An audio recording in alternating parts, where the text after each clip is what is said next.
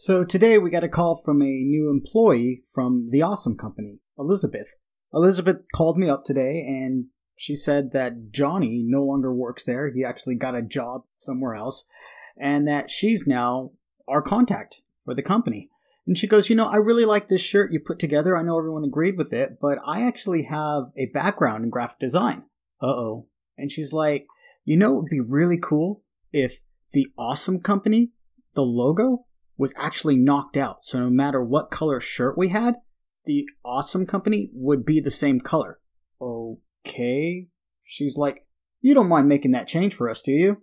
Okay, I'll see what I can do. So, great. Now they want this text, their logo, the Awesome Company, they want this to not just be black, but to be knocked out out of the background. Okay, so we know we can do this with the mask.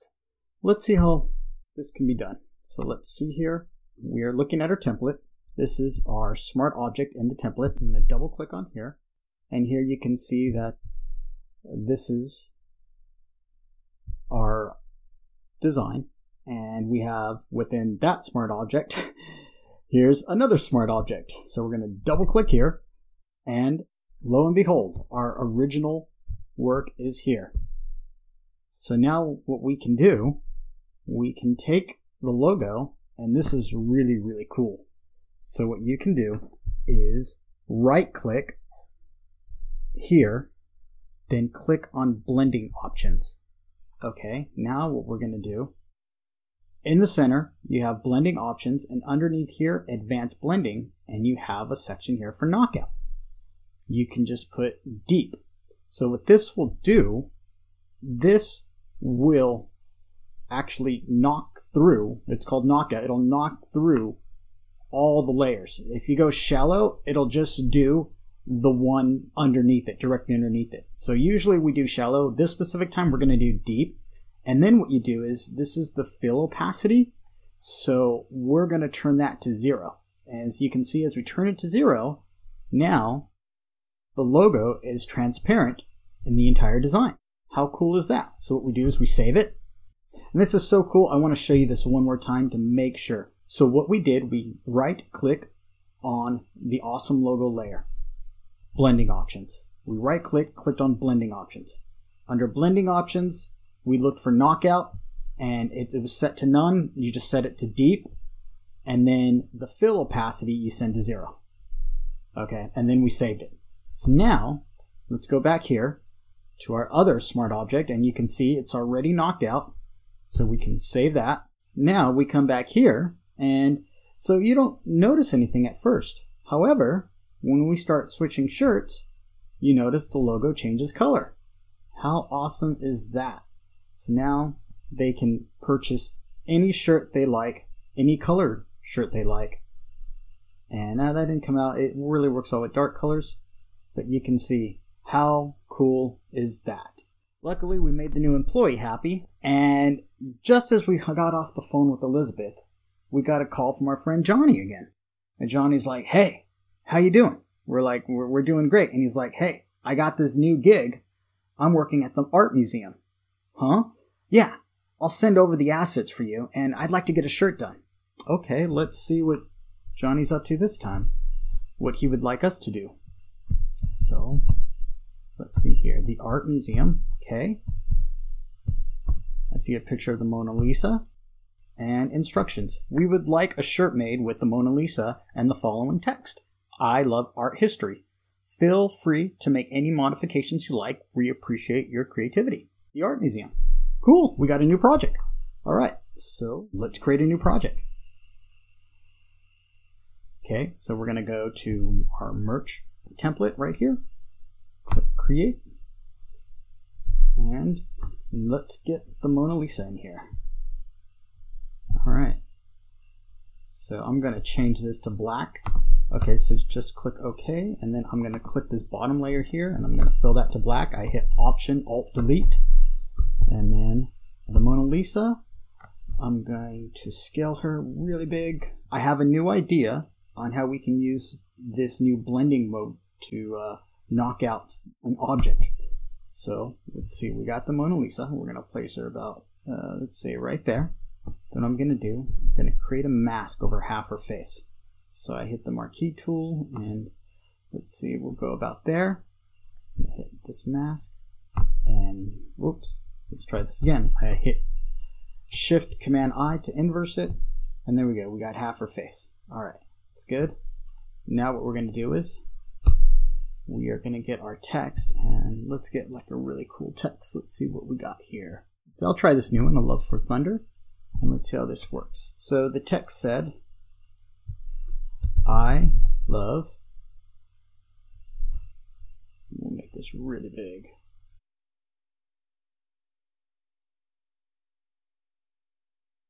I'm going to hit Option to copy this over and double click this art.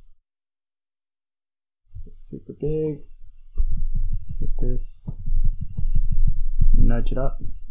So hold Option, Shift, Option and Shift, you hold it down and then you just drag a new object down so it's directly centered.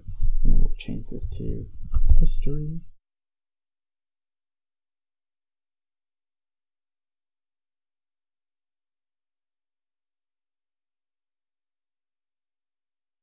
There we go. That's kind of cool. And I'm going to group these.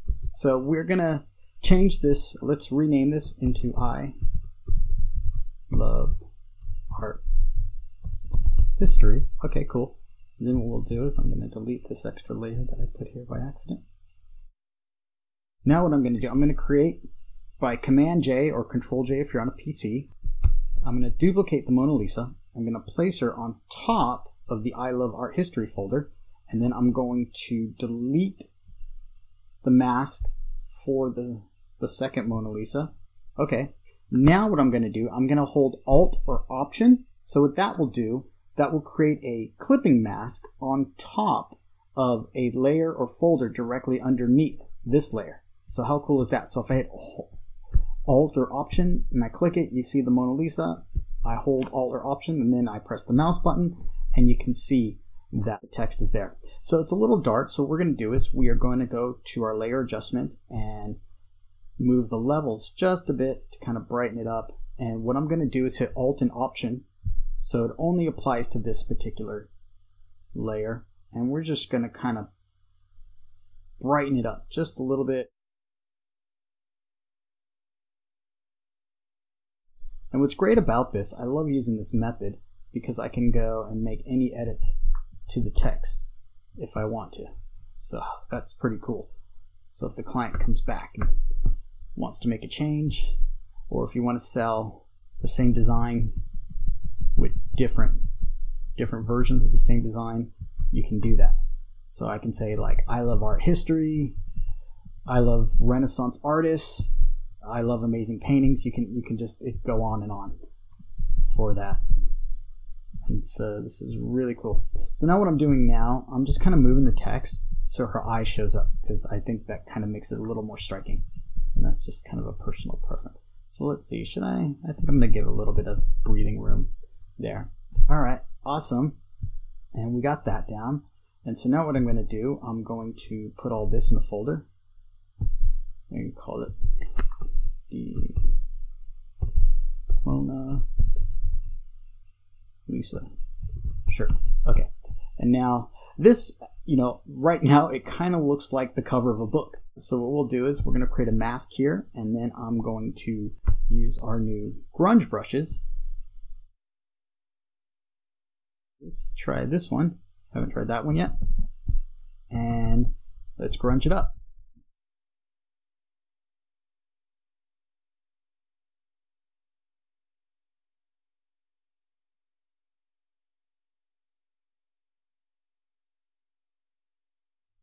So I'm covering her mouth, which I probably don't want to do. Okay, I'm going to have to fix this. I have some ideas because that kind of makes her look creepy. Their face like that. But okay, I love the mask, but I'm not too happy about what we did to the Mona Lisa. So here's what I'm going to do. I am going to zoom out, hit Z, Option, and then mouse, and I'm just going to shrink the Mona Lisa just a bit. So I do like right, being there, but I really want to make sure that we get a good portion of her face from forehead to chin. There. Alright, that's cool. And then what I'm going to do, we got half her face there. And I'm just nudging it around. Trying to find a good place. And then what I'm going to do, I'm going to duplicate this, Command J, follow the same steps we did here, delete that, and then I'm just going to delete this one. And there we go. Now she's, we're back in business right here. And this is pretty cool. So I'm kind of digging this uh, so far. And it's got a little bit of this grunge texture here. So what I'm going to do, I want to, let's go back to my brush, to white, it a little bit smaller, and I want to kind of fix her chin a little bit. Just a little bit, because it kind of gave her a goatee, all this grunchiness. But, okay, so that's cool. And then, hmm, uh, I want to do a little bit more grunge. So let's make this bigger just a tab maybe right here. Okay, that's cool. Yeah, that's just enough. And then uh, now this is kind of showing up here. Oh, we just got that. Okay, I know this is getting me back in that trap again. Okay, I'm going to use a different brush this time. Let's go back to our trusty. Uh, let's see here. This brush right here. Forgot the name of it. And we'll just kind of there we go. Clean that up a bit.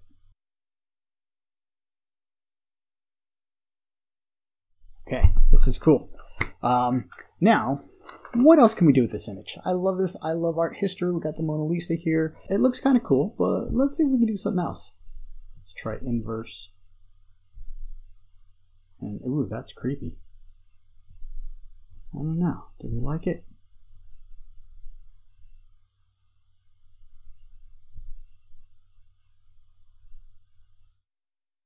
Well, that's kind of cool. I think I like that. So part of working with Photoshop and just getting to learn the tools is just playing, just sitting down and experimenting, and then pick up whatever tips you can along the way. Let's see. I kind of like this. I don't know. I, I'm kind of. I wonder what else I can do with this.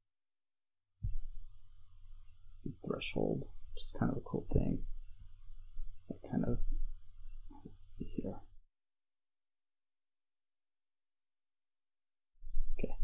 So let's see if this, if I do overlay, I'm messing with the blend modes now. Just trying to see what we can, what kind of cool stuff we can come up with.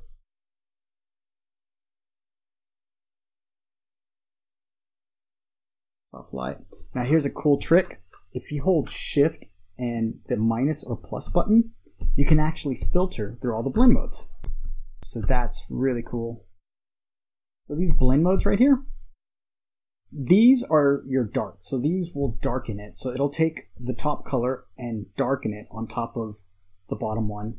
These ones do the opposite, light. The overlay kind of adds, I guess, variations of, of vibrancy to the image. For example, like this one right here will probably make it really bright. And so these are variations of that. And then these right here have different effects. So the one people use a lot is the color. So what's cool about color is that uh, I'll show you color. So what we can do, we can have a blend mode. We'll do a solid color. I'm going to do this as purple. Okay, so now what I can do, I can, so we have a purple solid color. You can go down here to color, and that made everything look purple. So that's kind of cool. You know, for people who love purple. Actually, wow, I kind of like that. I wasn't expecting that. That's pretty cool. Now I'm like, ooh, what do I do with this?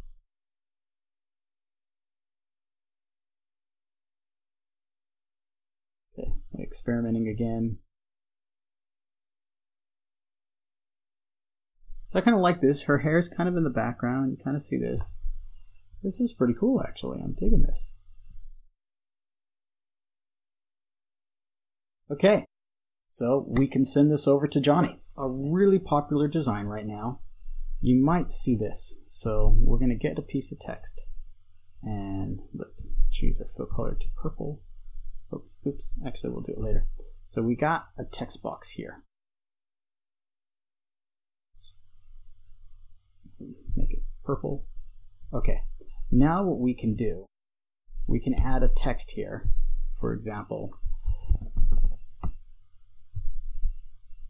to white.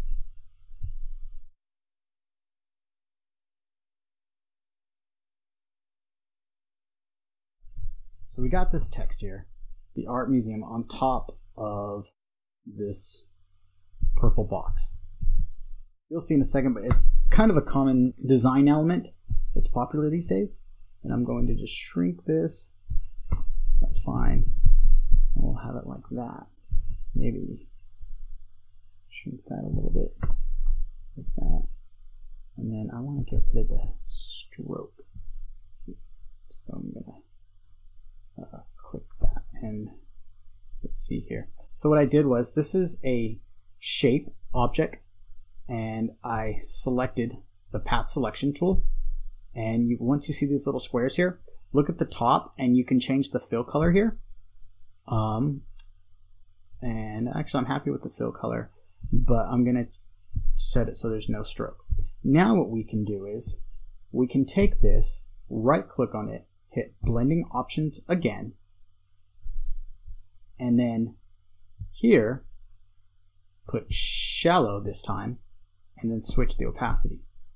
So now if we put this, we might need to put this in a group.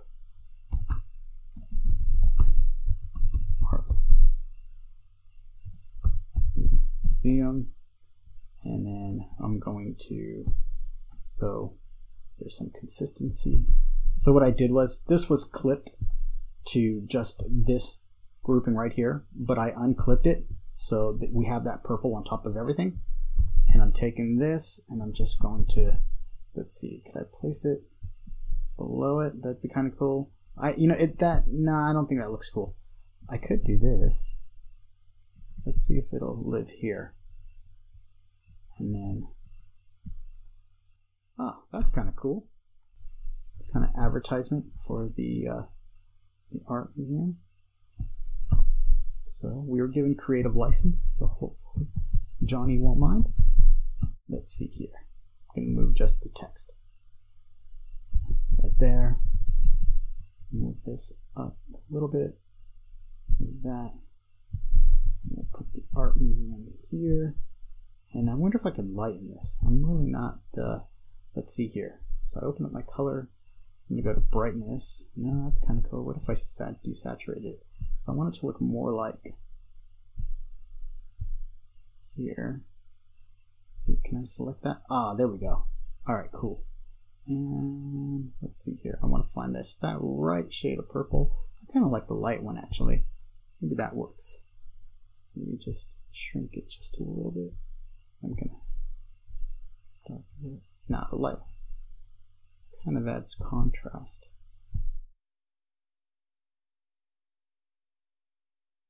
Okay, I'm just gonna leave it at that play with this for hours. So that's kind of a cool effect. I love art history and it kind of separates itself from the text and then also kind of acts as a base. So I love art history and then this is kind of the base, the art museum. So that's our t-shirt design.